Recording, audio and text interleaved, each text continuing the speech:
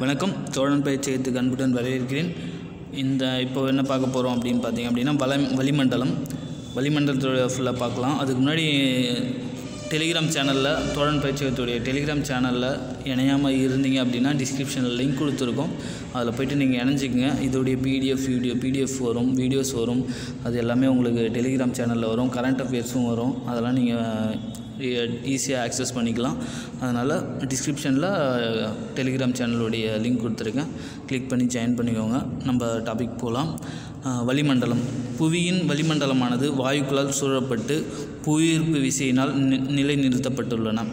வளிமண்டலத்தில் காணப்படும் முக்கிய வாயுக்களானது நைட்ரஜன் மற்றும் ஆக்சிஜன் ஆகும். Argon neon helium krypton carbon dioxide மற்றும் ஓசோன் ஆகியவை குறைந்த அளவு காணப்படும் வாயுக்களாகும். இவைகளை தவிர நீராவி மற்றும் தூசுக்களும் வளிமண்டலத்தில் காணப்படுகின்றன. இவையே வானிலை மாற்றத்திற்கு காரணமாக அமைகின்றன. வளிமண்டலத்தினை பண்புகளின் அடிப்படையில் நான்கு நான்கு அடுக்குகளாக பிரிக்கலாம். அது என்னென்னு பார்க்கலாம். இதை நாலாக பிரிச்சிருக்காங்க. இதில் வந்து பார்த்திங்க அப்படின்னா அடியடுக்கு. அடியடுக்கு வந்து எட்டு கிலோமீட்டர் வரைக்கும் எட்டுக்குலேருந்து பதினெட்டு வரைக்கும் வருது இந்த அடியடுக்கு. அடுத்தது படையடுக்கு அயனி அடுக்கு வெளியடுக்கு. இப்போது ஒவ்வொன்றுத்துக்கும் வந்து எட்டு கிலோமீட்டர் வரைக்கும் இருக்குது அடியடுக்கில் வந்து என்னென்ன இருக்குது அப்படின்னு பார்த்தீங்க அப்படின்னா இந்த மலைகள் மலைத்தொடர் இதெல்லாம் வருது. அதாவது அடுத்தது வந்து படையடுக்கில் வந்து வானிலை பலூன் அப்புறம் ஜெட் விமானங்கள் எல்லாமே எதில் இருக்குன்னா படையடுக்கில் அதாவது சேனி எடுக்கு அடுக்கு அப்படின்ற அந்த இதுக்குள்ளே வருது. அடுத்தது பார்த்திங்க அப்படின்னா அயனி அடுக்கு வடமுனை வளரொலி அயனிகள்லாம் வந்து அந்த இதுவில் வருது. அடுத்தது வந்து செயற்கைக்கோள்லாம் வந்து வெளி அடுக்கில் இருக்குது ஐநூறு கிலோமீட்டருக்கு மேலே இருக்குது இந்த இமேஜை வந்து நீங்கள் பாஸ் பண்ணி ஃபுல்லாக பார்த்துக்கோங்க. அடுத்தது நம்ம ஒரு அடுக்கை பற்றி பார்க்கலாம். அடியடுக்கு அடுத்தது ட்ரோபோஸ்பியர் பூமியின் மேற்பரப்பிலிருந்து துருவப் பகுதிகளில் எட்டு கிலோமீட்டர் வரையிலும் பூமி தேரேகை பகுதியில் பகுதியில் பதினெட்டு கிலோமீட்டர் வரையிலும் பரவி காணப்படுகிறது. வானிலை மூலங்களான வெப்பநிலை காற்று காற்றின் அழுத்தம் மேகங்களின் உருவாக்கம் மற்றும் மழைப்பொழிவு ஆகிய அனைத்து மாற்றங்களும் இந்த அடுக்கிலேயே நடைபெறுகின்றன. இந்த அடுக்கில் மட்டும் உயரம் அதிகரிப்பதற்கு ஏற்ப வெப்பநிலை குறையும். இந்த அடுக்கில் மட்டும் என்ன ஆகுதுன்னா உயரப் போக போக வந்து வெப்பநிலை குறையுது. சேன் சேனிடை அடுக்கு என்ற மெல்லிய அடுக்கானது அடியடுக்குக்கு அடியடுக்கு மற்றும் படையடுக்கு இவை இவைக்கிடையே அமைந்துள்ளது. இது ரெண்டுத்துக்கும் இடையே சேனி அடுக்கு அப்படின்ற ஒரு இது வந்து மெல்லிய அடுக்கு வந்து இருக்குது ஓகேங்களா அடுத்தது படையடுக்கு ஸ்ட்ராட்டோஸ்பியர். ஓகேவா புவியின் மேற்பரப்பிலிருந்து சுமார் எண்பது கிலோமீட்டர் வரை பரவி காணப்படுகிறது. இதில் வந்து ஜெட் விமானங்கள் இந்த அடுக்கில் பயன் பயணிக்கின்றன. படையடுக்கின் உச்சி விளிம்பில் ஓசோன் வாயு அதிக அளவில் காணப்படுகிறது. இந்த அடுக்கு சமவெப்ப அடுக்கு மற்றும் ஓசோன் அடுக்கு எனவும் அழைக்கப்படுகிறது. ஓசோன் அடுக்கு என அழைக்கப்படுவது வந்து என்னன்னு பார்த்தீங்க அப்படின்னா படையடுக்கு ஜெட் விமானங்களில் பயணிக்கும் அடுக்கு வந்து படையடுக்கு அடுத்தது ஓசோன் வாயு அதிகம் உள்ளது வந்து இந்த படையடுக்கு. அடுத்ததாக பார்த்தீங்க அப்படின்னா படையடுக்கினை தொடர்ந்து மீண்டும் ஒரு மெல்லிய அடுக்கு காணப்படுகிறது. இது மீவலி அடுக்கு மீவலி இடையடுக்கு என அழைக்கப்படுகிறது. அயனி அடுக்கு அடுத்தது பார்த்தீங்கன்னா தெர்மோஸ்பியர் ஆர் அயனோஸ்பியர் அப்படின்னு சொல்கிறாங்க புவியின் மேற்பரப்பிலிருந்து எண்பது கிலோமீட்டர் முதல் ஐநூறு கிலோமீட்டர் வரை காணப்படுகிறது. இது அயனி அடுக்கு என அழைக்கப்பட காரணம் வளிமண்டலத்தின் இப்பகுதியில் சூரிய கதிர் கதிர்வி கதிர்கள் மின் செறிவூட்டுவது ஊட்டப்படுவதாலும் இவை வானொலி அலைகளை பூமிக்கு திருப்பி அனுப்புவதால் நவீன தொலைத்தொடர்பிற்கு மிகவும் உதவுகின்றன. அடுத்தது வெளியடுக்கு. இது வளிமண்டலத்தின் மிக உயரமான அடுக்காகும் எக்ஸோஸ்பியர் அடுக்கானது பெருமளவு ஹைட்ரஜன் மற்றும் ஹீலியம் வாயுக்களை கொண்டுள்ளது. இவை அண்டவெளியின் புறப்பகுதிகளாகவே க கருதப்படுகிறது. கதிர்வீசவியல் ஏரோலஜி. கதிர்வீசவியல் என்பது வானியலின் ஒரு பிரிவு ஆகும். வானியலின் ஒரு பிரிவு வந்து என்னது? ஏரோலஜி. வளிமண்டலத்தினை பலூன்கள் வானூர் வானூர்திகள் மற்றும் செயற்கைக்கோள்கள் பயன்படுத்தி ஆராய்வது. கதிர்வீசியல் ஆனால் ஓசோன் அடுக்கு சூரிய கதிர்வீச்சு நீண்ட அலை வரிசையினை கொண்ட கதிர்வீச்சு ஆகியவற்றினை ஆராய்கின்றது. வளிமண்டலத்தின் மேல் அடுக்கினை பற்றி படிப்பது. வளிமண்டல வெப்பநிலை வளிமண்டலத்தில் எப்படி வெப்பநிலை அந்த மாற்றங்கள் எப்படி இருக்குது அப்படின்னு பார்த்தீங்கன்னா புவி பெறும் ஒளி மற்றும் வெப்பத்திற்கு மூலாதாரம் சூரியனாகும். புவியானது மிக குறைந்த அளவு சூரிய கதிர்வீச்சு வீசலையே பெறுகின்றது. ஒரு நாளில் நிலவும் அதிக அளவு மற்றும் குறைந்த அளவு வெப்பநிலைக்கு இடையே உள்ள வெப்பநிலை வேறுபாடே தினசரி வெப்ப வெப்ப வியாப்தி என அழைக்கப்படுகிறது. சூரிய சூரிய கதிர்வீச்சிலிருந்து பூமி பெறும் வெப்ப ஆற்றலானது மூணு வழிகளில் செயல்படுகிறது. வளிமண்டலத்தில் கதிர்வீசல் முறையிலும் நிலத்தின் கடத்தல் முறையிலும் நீரின் வெப்பசலன முறையிலும் நடைபெறுகின்றன. பூமியின் வளிமண்டலமானது சூரிய கதிர்வீசலை விட புவி கதிர்வீசலால் அதிக வெப்பமடைகிறது. பூமி வந்து பூமியோட வளிமண்டலம் எதனால் சூரிய கதிர்வீசலை விட பூமியிலிருந்து கதிர்வீசலால் தான் அதிகமாக வெப்பமடைகிறது.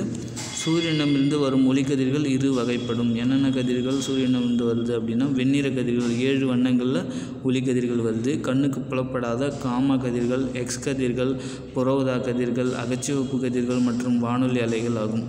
ஒரு இடத்தின் வெப்பநிலை என்பது அந்த இடத்தின் தரைப்பகுதிக்கு மேல் பதினைந்து மீட்டர் உயரத்தில் உள்ள காற்றின் வெப்பநிலை ஆகும்.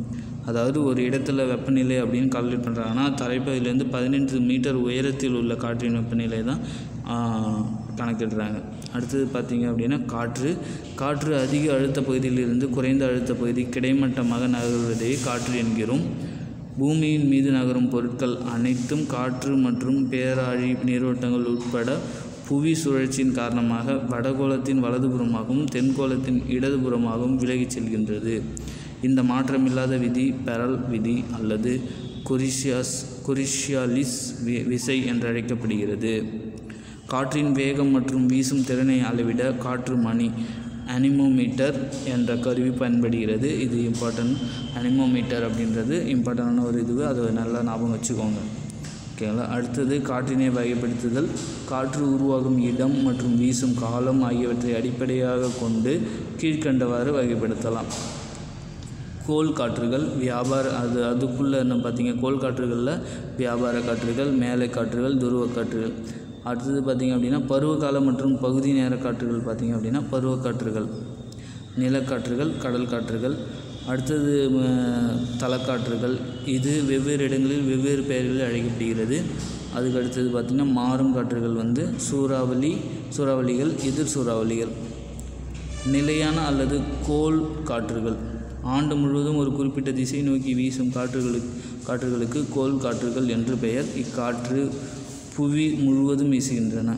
அச்சப்பகுதிகளில் ஏற்படும் வெப்பம் மற்றும் அழுத்த மாறுபாட்டின் காரணமாக இவை ஏற்படுகின்றன. கிழக்கு காற்றுகள் அல்லது வியாபார காற்றுகள் வியாபார காற்றுகள் அயன மண்டலங்களுக்கு இடையே வீசுகின்றன. இவை வடகோலத்தில் வடகிழக்கு வியாபார காற்றுகளாகும் மற்றும் தென்கோலத்தில் தென்கிழக்கு வியாபார காற்றுகளாகவும் வீசுகின்றன. வரலாற்று காலங்களில் கடற்பயணம் மேற்கொள்பவர்களுக்கு பயனுள்ளதாக இருந்ததால் அவ்வாறு அழைக்கப்பட்டது. சீரானதாக மற்றும் நிலையானதாகவும் குறிப்பாக கடற்பரப்பில் வீசக்கூடியது. பெரல் விதியின்படி இவ்வகையான காற்றானது விலகி வீசுகின்றது.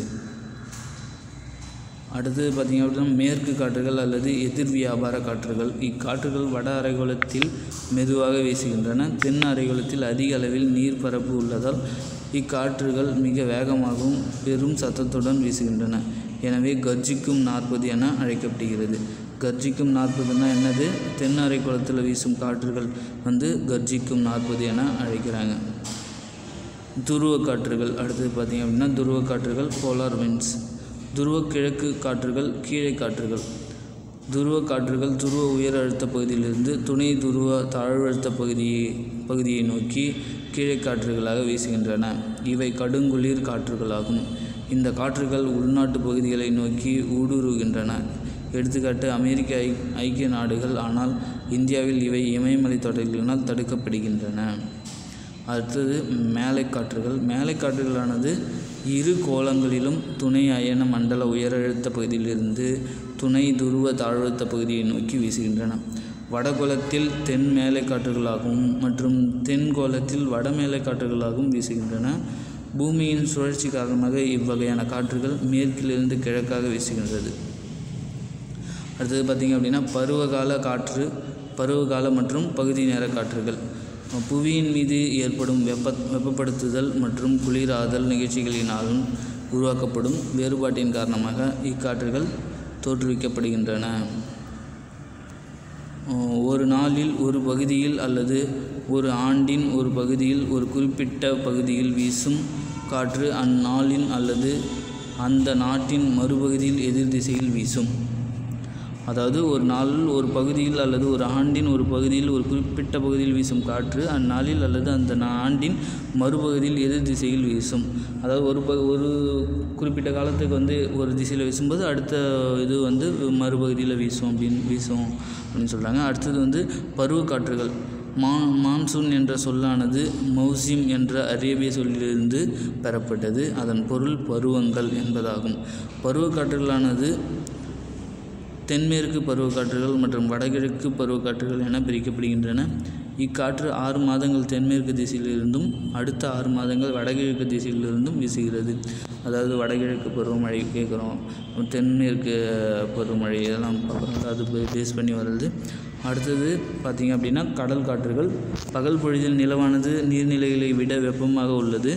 அதன் விளைவாக தாழ்வழுத்தம் நிலத்தின் மீதும் உயரழுத்தம் மேற் நீர்ப்பரப்பின் மீதும் உருவாகின்றன. இதன் காரணமாக ஈரப்பதம் மிக்க குளிர்ந்த தென்றலானது பிந்திய மாலை பொழுதில் கடலிலிருந்து நிலத்தை நோக்கி வீசுகின்றது. அடுத்தது பார்த்திங்க அப்படின்னா நிலக்காற்றுகள். இரவு பொழுதில் நிலவானது நீர்நிலைகளை விட குளிர்ச்சியாக உள்ளது. அதனால் நிலத்தின் மீது உயரழுத்தமும் மற்றும் நீர்ப்பரப்பின் மீது தாழ்வு அழுத்தமும் உருவாகின்றன. எனவே குளிர்ந்த வறண்ட காற்றானது அதிகாலை பொழுதில் நிலத்திலிருந்து நீர்ப்பரப்பை நோக்கி வீசுகின்றது. அடுத்தது மாறும் காற்றுகள். ஒரு குறிப்பிட்ட பகுதியில் வீசாமல் திசையையும் அதன் இடத்தையும் மாற்றிக்கொண்டு வீசுவதால் அவை மாறும் காற்றுகள் என அழைக்கப்படுகின்றன. எடுத்துக்காட்டு புயல் காற்று எதிர் புயல் காற்று. புயல் காற்று அப்படின்னு பார்த்தீங்க அப்படின்னா புயல் என்பது தாழ்வழுத்த அமைப்பின் மையமாகும். காற்றினை அனைத்து திசைகளிலிருந்தும் ஈர்க்கின்றது. மேலும் அவை அதிவேக காற்றுகளுடன் கனத்த மழையை கொடுக்கும் தன்மை கொண்டவை. புயலின் மையப்பகுதி புயல் கண் எனப்படுகிறது. அவை வடகோளத்தில் எதிர் கடிகார சுழன்று சுற்று திசையிலும் மற்றும் தென்கோளத்தில் கடிகார சுற்றாகவும் நகர்கின்றன. இந்த தாழ்வழுத்த அமைப்பு நீர்ப்பரப்பின் உருவாகும் போது பொது அவை மிகவும் வன்மையானதாகவும் மற்றும் ப மழைப்பொழிவையும் உருவாக்குகின்றது.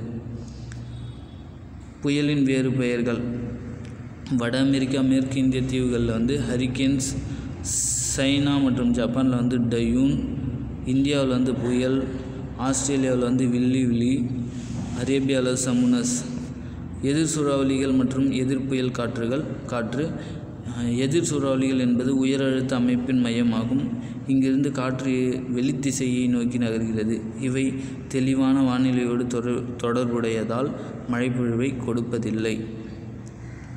எதிர் சூறாவளிகள் வடகோளத்தில் கடிகார சுற்று திசையிலும் தென் கோலத்தில் கடிகார சுற்று திசையிலும் நகர்கின்றன. இவை நிலப்பரப்பின் மேல் உருவாவதால் அவை வறண்டே காணப்படுகிறது.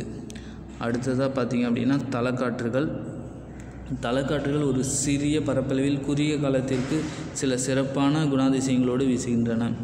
இவ்வகையான காற்றுகள் பெரும்பாலும் பகுதி நேர காற்றுகளாகவும் தலப்பெயர்களையும் கொண்டுள்ளன. வெப்பத்தலை காற்றுகள் எங்கெங்கே வீசுது அதோடைய எங்கெந்த இடத்துல வீசுதுன்னு பார்த்தீங்கன்னா பிரிக் வீல்டர் அப்படின்ற காற்று வந்து ஆஸ்திரேலியாவில் வீசுது.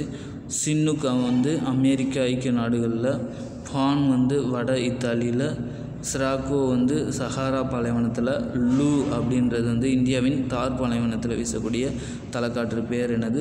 லூ. இந்தியாவின் தார் பாலைவனங்களில் வீசுது. குளிர் தலைக்காற்றுகள் எங்கெங்கே பார்த்தீங்கன்னா மிஸ்ட்ரஸ் வந்து ஆல்ப்ஸ் மலையில் புர்கா வந்து ரஷ்யா நார்த் வந்து மெக்சிகோ வளைகுடா பாம் பாம்பேரோ வந்து அர்ஜென்டினாவில் வந்து வீசுது. அடுத்தது பார்த்திங்க அப்படின்னா வெப்பக்காற்றுகள் ஃபோன் ஆல்ப்ஸ் மலையின் மழை மறை மலைச்சரிவுகளில் வீசும். இது வறண்ட வெப்பக்காற்றாகும். இக்காற்றினால் பனிகள் உருகி புற்கள் வளர உதவுவதால் ஆடு மேய்ச்சலுக்கு உதவுகிறது.